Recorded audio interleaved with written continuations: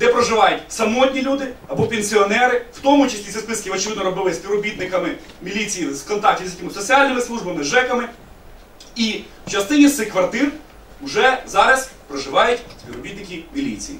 Відповідно, зараз я хочу назвати декілька адрес, де от станом на 15 рік зараз вже може трошки змінилось, тому що ми може ми озвучили, може, якщо не, не бовдури, то трошки було обережніше. Ладно. Е, Є три квартири, у нас це прес-релізі є опубліковано і на доступі в цих файлах на Білоруській вулиці. Три квартири, де проживає, зникла там бабуся, проживає дільничі міліції. Зник чоловік, опікується начальник РУВД, заїжджає туди. Це правда, що це 15 рік інформація, але я думаю, ситуація не помінялась. І ще одна квартира, де живе ще один міліціонер. Тут ситуацію ми маємо з чим, що людей вбиває міліція, і те, про що розповідали раніше, але якось не вірилось, що є спеціальні так звані спецкладовища міліції, де людей з характерними ознаками вони зникають. Одинокі матері, одинокі пенсіонери, а в цих квартирах живуть потім міліціонери або їх продають. То ось ці списки, я сподіваюся, комусь рятують життя. Звичайно, якщо виявиться, що і через рік ні НАБУ, ні ГПУ, ні СБУ, ні якийсь новий підрозділ національної поліції, хто там хоче піару, ось, беріть, обійдіть ці квартири, знайдіть там мусора, убивцю, тому що він причетний схеми, він знає, він живе, він знає, що там зникла людина. І у вас буде розслідування. Ви знайдете схему, як убивають людей заради майна. Ваша кримінальна розвідка, ваш спецназ. Відповідно, ці списки ми, думаю, оформимо не у виді навіть звернень громадян, тому що я знаю ціну цим зверненням. Насправді це треба робити, але ми будемо це робити, в тому числі через депутатів. Тому що я знаю так само, що ви тут поговорили, вони відпишуть відписку. Не знайшли листочок, погано видно, немає жодних порушень. Це все неважливо. Е, Що характерно е, по історії з княжичами, що розібрати вже зараз, де оперативна служба виконує свої обов'язки, а де вони скоюють злочин або причетні до нього, вже місце розбереш. Вони вбили Гонгадзе, вони відверто займались інтелектуальним терором проти людей на Майдані. І зараз в цих княжичах я сьогодні ще не буду публікувати та інформація, яка у нас поступає, що там відбулося. Тому що так, навіть якщо прийняти офіційну версію МВС, що там було в тій будівлі, і хто там потім як це замішано з якимись угрупуваннями влади, це вже якась іде геть паранормальна просто ситуація. Але ситуація по оперативній службі, що ми точно знаємо, її не реформували. А значить, коли зараз кажуть повернути професіоналів, мало професіоналів на службі, то ми бачимо, що професіонали не займаються своєю роботою. Професіонали займаються тим, що намагаються досі переслідувати активістів, це ми до цього ще потім повернемося, і займаються тим, що просто заробляють кошти на кримінальних схемах. Е, Зараз ми від нашого списку УОЗ і Ільченка е, перейдемо до питання того, оці всі люди, е, вони кочують. Оперативна служба, НАБУ, хтось пішов в політику, зараз в партії Клименко дуже багато кримінальних розвідників, тому що Клименко їм ремонтував машини і кажуть, от він туди понавазили. А люди, які добровольці, які от е, людина, е, викладач Могилянки по мас-медіа, е, які активіст Майдану, який взагалі в руки ніколи корупції ніякої не брав, ніякої контрабанди, він просто хотів нищувати ворогів або їх ловити. Ці люди викидаються. І давайте зараз поговоримо про те, як відбувається процедура переатестації. Тому що це насправді от, у нас сьогодні три важливі блока. Як розвалювався миротворець, тому що те, що сталося цим полком, це яскравий приклад того, як розвалювався добровольчий рух і чому в цій системі не буде нормальних співробітників. А потім будуть знову казати, що ніхто не хоче йти працювати. Друге питання це те, чим займається оперативна служба, і щоб вони припинили цей розбой і вбивства людей заради майна. Тому що вони мають займатися інтелектуальною діяльністю, досить аналітичною і глибокою проти злочинності. А третє питання це якраз переатестація. Тому що переатестація правоохоронних органів, яка мала задіти всю ту наволоч, покидьків, людей, які не хотіли виконувати міліцейські функції, людей, які прийшли на службу для того, щоб збагачуватися, через яких навіть середня ланка, всі ці сержанти, лейтенанти, капітани, вони стонуть, коли цю наволоч викинуться. То переатестація їх не заділа. Григорій і мамки вернулись на службу, а хлопців добровольців викинули. Давайте зараз перейдемо до переатестації. Е, Я почну е, про це цікаве питання. Воно зараз е, на слуху. Переатестація правоохоронних органів, яка, як вже Євген сказав, мала викинути кадрів причетних до злочинів, до неправомірних дій і дати дорогу новим працівникам правоохоронних органів, які вже будуть охороняти закон. Ми бачимо цей процес в такому вже руслі чітко, що це перетворилось на інструмент розправи саме не зі старими ментами, а з новими, і в тому числі з добровольцями, з якими є ми. Тобто через переатестацію викинули залишки людей, які не звільнилися самі, які хотіли працювати цій новій так званій поліції і справді щось корисне робити для України. Старі всі залишились, нових через передестацію викинули. Я вже згадував, що довго нас переконували звільнитися самим, ми відмовилися і тому е, взагалі навіть в незаконний спосіб тут у нас є офіційні документи, потім ми роздамо. Е, Нам надав глав відповідь, що проводилася ця переатестація по нам згідно з загальною інструкцією переатестації 1465 18.11.2015, але це зовсім не так, тому що направивши запит, вони не зможуть вам надати результати тестів по законодавству, по загальній логіці, які згідно з інструкцією мали би бути обов'язково, а яких зовсім не було. Переатестація звелась до того, що о приблизно першій годині ночі нас в главку прийняли близько 10 осіб, які відмовлялися представлятися, які назвали себе атестаційною комісією. Був присутній там також і командир полка, який на той час офіційно перебував у відпустці. Він, в принципі, не може бути присутній на засіданні атестаційної комісії, а на той час він ще й перебував у відпустці. Е, Дуже дивні там нам ставилися питання. Зараз про це скажу. Зовсім вони не стосувалися наших якихось професійної, нашої якоїсь професійної діяльності. І тоді ще в нас виникли великі підозрі, що ж це за атестаційна комісія. Пізніше ми написали рапорта, щоб нам дали витяг з нашої співбесіди на цій переатестаційній комісії. Витягу нам сказали, що десятьох людей не було. Це були якісь фантоми, вони нам привиділись, що там було три людини в складі комісії. Це голова комісії Стойко. Е, Голова цієї комісії був радник міністра Стойка. От ми зараз включимо, е, включили його фотографію, і принаймні на співбесіді з нами ця людина не була присутня. Ми дуже були раді з нею познайомитися, тому що вона підписала висновки по нам, за якими нас визнали службово невідповідними і звільнили. Дуже хотіли б з цією людиною просто познайомитися, просто з нею поговорити і побачити, як вона виглядає вживу.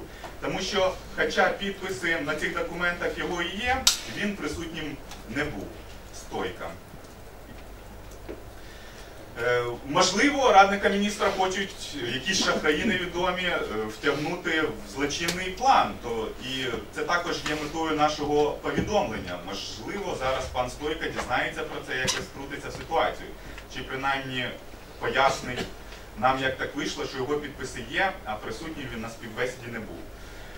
Е, Як я вже згадував, я з літа 2014 року воюю в багатьох операціях брав бойових. Е, Значить, на підсумковій переатестації, от згідно з витягом, ми також потім надамо. Отут вони написали, які питання нам ставилися. Мені було поставлено три питання. Перше питання, чому я перші ночі прийшов в цивільному одязі. Я сказав, що я цілодобово в форменому одязі не ходжу. І отут написано моя відповідь, тому що робочий час закінчився. Потім е, записали, чому, е, запитали, чому я порушую виконавчу дисципліну. Я сказав, що не порушую, попросив надати документи. Документів надано не було. Ну і напевно люди, які давали цей витяг, вони якби побачили, що з цих питань зовсім вже смішно мене звільняти. Вони дописали третє, яке сфальсифікованим, яке мені насправді не ставилося. Е, Чи маю я причетність до політичних сил, чи брав участь в акціях непокори протесту? І написали, що начебто я дав відповідь, хоча я не давав, що я маю право участі в громадських заходах, у тому числі протесту, як громадянин України, право гарантовано Конституцією. От на основі цих трьох питань Одне з яких є сфальсифікованим останнє, після двох, двох з половиною років служби мене звільнили з нової поліції в процесі переатестації. Тобто, от люди вважають такі люди, які себе аж таким чином скомпроментували, ходять вночі в неформеному одязі. не мають права служити, що б вони до цього не робили і чим би не відзначилися. Більш детально про те, як звільняли моїх бойових побратимів, вони розкажуть самі зараз. Вітаю, шановні журналісти. Принагідно хочу додати з приводу процедури преатестації. Ем, Це е, повсюдне хамське ставлення, ніби спілкування е, члена комісії короля зі своїм підлеглим. Ось, як ми вже звикли е, в соцмережах, відомі волонтери, військові, авторитети громадської думки, журналісти були присутні на багатьох співбесідах. У нас, наприклад, по нашому підрозділу миротворець не було жодного представника громадськості е, на засіданні. Е, ніхто не ставив нам запитань, не хотів дізнатися про наші професійні навички, розумові, про наші побажання по службі. Е, окрім того, людей на співбесіду залучали з самого ранку, протримали весь день і всю ніч до наступного ранку. Тобто це доба безперервної процедури перетестації цих засідань, співбесід. І, і такі умови е, проведення суперечать будь-яким інструкціям та наказам, які по процедурі ухвалювалися Верховною Радою та Міністерством внутрішніх справ. Окрім того, е, по завершенню атестації е, ці атестаційні листи, які стали підставою для нашого е, протиправного звільнення, ми отримали виписку е, про трьох членів комісії. Натомість на самому засіданні було присутні 10 невідомих людей разом з командиром, про якого згадав Сашко. Е, А ті, які були згадані в офіційному документі, просто-напросто були відсутні. Як і Столько, і двоє його колег. Їх не було на комісії. Тобто засідання е, відбувалося без голови комісії, без її офіційних членів, невідомими працівниками управління Нацполіції в Київській області. Ем, ось така ситуація, просто хамське ставлення, е, жодних запитань по суті і упереджені, упереджені провокативні запитання з приводу е, громадської позиції участі в масових заходах і звинувачення в політичній діяльності, в якій ми участі не беремо. Е, Надалі хочу передати слово Сергію Бондару.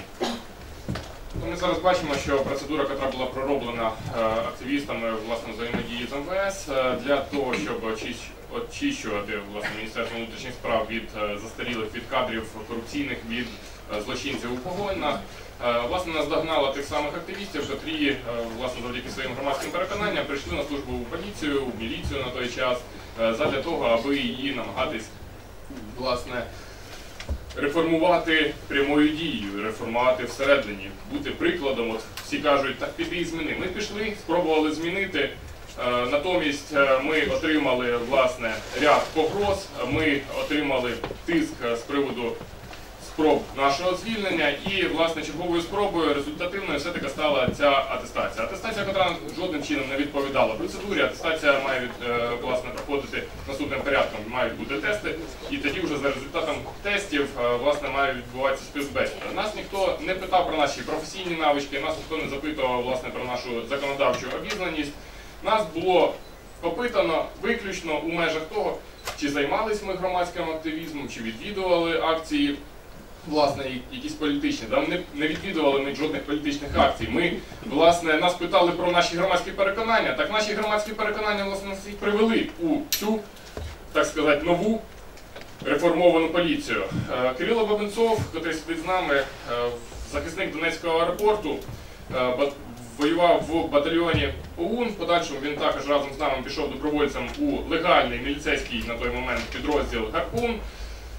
Він проходив там тривалий час служби, їздив у ротації, їздив у зону антитерористичної операції. В подальшому, коли е, батальйон влили в полк, він разом з нами перейшов в полк і він піддався тиску, що спричинив власне його звільнення за власним бажанням. Це відбулося незадовго до того, як була проведена так звана перетестація щодо нас. Передаю слово Кирилу Богунцову. 15-му році, коли, в 15-му році, коли я е, проходив співбесіду на вступі в батальйон Гарпун, е, один з членів комісії, які мене приймали батальйон, запитали, е, чому я, як учасник Майдану, патріот і націоналіст, іду в батальйон, який формально підпорядковується на той момент, формально підпорядковується МВС. В структурі, яка так себе дискредитувала, особливо за останні роки. Тоді я йому відповів, що якщо всі хороші люди поліції чи міліція існуватиме з нами чи без нас, але якщо всі хороші люди відмовляться туди йти е, з принципу, там залишаться тільки погані. і як воно і було практично всі ці 20 років нашої країни. І якщо ми самі не спробуємо змінити, якщо ми не спробуємо стати альтернативою розпочати зміни, то нічого без нас не почнеться. Е, Так само, я думаю, міркували і інші хлопці присутні тут, які були в добровольчих батальйонах, що е, ми почнемо, настав Майдан, революція перемогла, ми змінимо систему зсередини, прийдуть патріоти, усунуть старих кадрів. Е, Після того, як був знищений батальйон Гарпун, я переконався в тому, що полк миротворець теж е, вже є ефективною структурою, що він е, буде виконувати своїх задач по захисту України.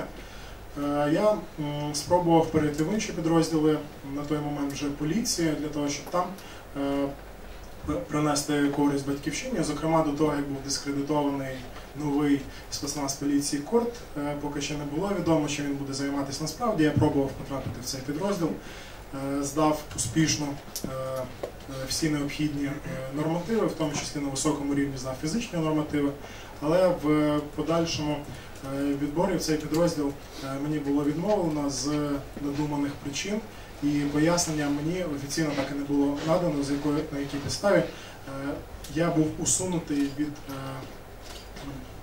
е, спроби потрапити в цей підрозділ. Так само було відмовлено іншим бійцям, моїм знайомим, які служили разом зі мною полку миротворець, які так само успішно здали всі необхідні нормативи, мали бойовий досвід, високий рівень фізичної підготовки. Їм було відмовлено з формулюваннями приблизно подібними до тих формулювань, які е, хлопці називали на переатестації, що ми не можемо вас взяти в цю структуру, тому що ви за своїми психологічними якимись якостями не відповідаєте образу нової поліції. При тому, що люди, яким це було сказано, це були е, професіонали, е, і якраз саме з таких би людей в нормальній країні мав би складатись спецназ поліції. Так само мені було відмовлено в е, вступі в новий ПБ, це реформований обнов підрозділ по боротьбі з наркозлочинністю, так само як іншим е, деяким учасникам Харпуна, які намагалися туди е, перейти, так само без пояснення причини. Е, інші е, спецнази інших відомств е, силових українських нам також було відмовлено. От, і е, після цього, е, після того, як я зрозумів, що в миротворці нам вже не дадуть е, тої роботи, заради якої ми всі в 2014 році стали добровольцями, оформились. Ну, хлопці оформилися в 2014-му, я офіційно оформився в 2015-му.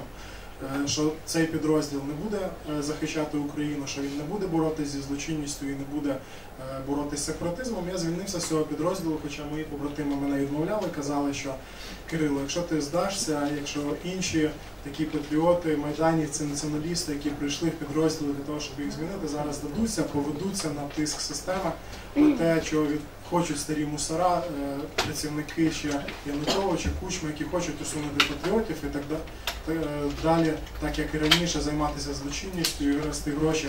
е, Вони залишаться, а ми підемо, то ми повернемось до того, що ми мали на Майдані до Майдану. Тоді все буде марно. От, ну, я тоді не, мав оптимізму щодо того, що нам дадуть працювати. От, і от пройшло з тих пір вже десь півроку, і мої побратими, які до останнього намагалися змінити цю систему на краще, працювати і реально виконувати ті задачі, які має виконувати в країні поліція по боротьбі зі злочинністю. От вони були примусово з цих підрозділів звільнені. Я ж наостанок дуже швидко покажу результати того. Е, ви бачите людей, які викинули систему. Зараз можемо наочно побачити. Зараз все-таки на моніторі можна так добре видно, але ці всі картинки доступні будуть в нашому релізі. Зараз ми вимкнемо. Це співробітник Київського Беркуту, зараз буде на фото. Він е, є співробітниками, е, як мінімум був в 2016 році, зараз, можливо, вже десь і втік, хоча навряд чи просто змінив назву сторінки своєї. Це от він на службі, це 21 серпня це 2016 року. Потім його переписка в сепаратистській групі, де от пряма його цитата. Це про події на Майдані. Скоро все будет, как должно быть, они будут еще умирать и просить о пощаде, а мы жалеть не будем никого. З граматичними помилками це пише співробітник полку міліції чи поліції, особливо призначений з охорони громадського порядку. Така тварюка в Києві захищає громадський порядок. На тій ж самій базі, на Червонозорному проспекті. Вона лишилась у Беркуту. У нас скільки було війни, добровольці по сараях, по полях, де тільки не лазили, відновлювали піонер-табори. Е, Беркутовська скотиняка так само і сиділа на базі, в Червонозорному проспекті, де вони там і БТР раніше стояли, коли там була революція, де вони чудова ружейка. І вони там далі продовжували охороняти громадський порядок. Цю базу не передали ні одному, навіть Київ один, так би мовити, придворному полку чи батальйону, які будуть приватні, навіть йому не віддали цю базу, вона лишилася за прикутньою. Відповідно, Харківський Беркут. Це зараз буде, ми бачимо на картинці. Е, відома історія, коли Харківські Беркута ні, Харківські Беркута побили журналістів на блокпосту. І потім було характерно, що їх не лише е, не покарали, а пізніше приїхав Геращенко, знайшов причину, за що їх там вони щось там когось нібито зловили, їм дати ще нагороди. Він з ними сфотографувався. Е, Що з настрою в Харківському Беркуту, ми бачимо ось. Е, Сергій Бон- Бондаренко не приховує заступник командира в роті Беркуту. Відповідно, ця людина, її погляди, це от він в сучасному Беркуті. Ми бачимо, тому що у них е, знаходяться форти, гвинтівки. Ну, система Булпап, хто знає, хто розуміє, що це не, не, не Калашникова, такого не було раніше в системі МВС. Ось вони теж видно, що в камуфляжній формі, такого не було при це вже сучасний Беркут, нам фотографія за березень 2016 року. І ось ця людина постить у себе в Фейсбуці такі от фоточки. Молодці парні. Беркут ДНР. І от молодці парні. Беркут в Криму отримує нагородження від цього міністра цього Шойгу, що там приперлося, зелений чоловічок. Це е, в Харкові офіцер Беркута. Ще один харківський Беркутовець, це вже не офіцер. Влад Беркут, це зі сторінок соцмережах відкрита. Ну здравствуй, брат. У нього не українська прописка, у нього Беркут і Росія. Це ці люди е, в рядах міліції знаходяться. Також яскравий приклад, ось зараз ви бачите офіцера головного управління МВС місті Києві, який працює у відділі документування, який працював на антимайдані за гроші як людина, яка проводила функціонер, менеджер е, цих заходів. І ця людина досі служить в цих підрозділах. І ми можемо навести ще приклади того, як повернули систему слідчий Роман Козлов. Е, Він був в люстраційному списку Євромайдану. Зараз ця людина пройшла переатестацію. І ще раз хочеться наголосити, що ми е, бачимо недієздатність керівництва національної поліції в проведенні реформи. Ми бачимо, що реформи вже не відбудуться.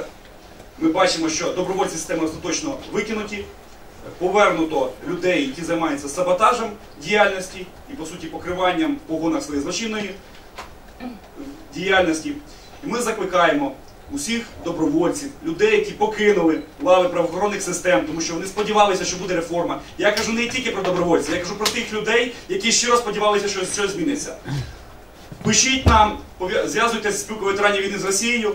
Ми будемо проводити громадські кампанії по тиску, тому, щоб прибирати цих людей з системи, по тому, щоб консолідувати наше середовище і готуватися до того, щоб не допустити реваншу цієї системи вже офіційно.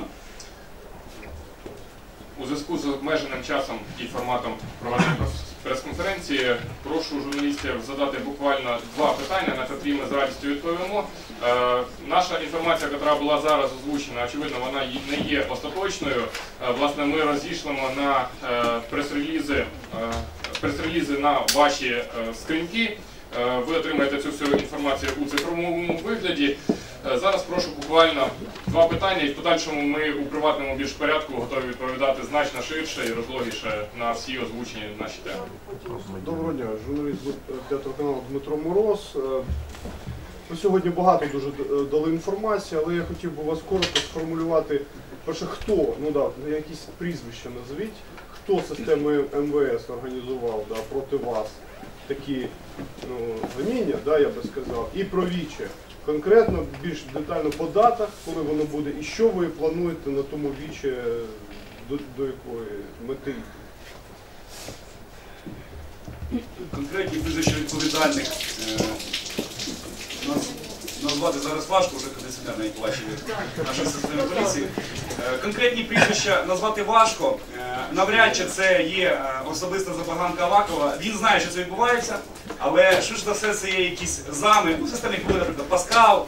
е, Євдокімов, такого Євдокімов вже немає в системі, немає такого розряду люди, вони ж все є тіньовими кураторами таких процесів. Це є системні явища, це не відбувається випадково. Тобто зараз назвати, хто це робить, на рівні полкамератворець, да, Шершньов виступає як реалізатором. Але це не з його волі, і він би не зміг це зробити, якщо б це не підтримували якісь інші зами. Тобто такі от люди, як Григорій Мамка, вони насправді є в кожному департаменті. Я думаю, і в кадровій службі, і в е, внутрішній безпеці, ті, хто це можуть кришувати. Тобто зараз назвати прізвище безпосередньо, хто є начальник цієї операції, ми не можемо. Е, Але я думаю, ми на ці імена вийдемо, тому що поступово цей ланцюжок завжди розкручується. Ми виходимо, хто що робить. Е, По другому питанню, це буде е, весною скоріш за все, це буде десь квітень місяць, тому що ми не хочемо займатися популізмом, то зараз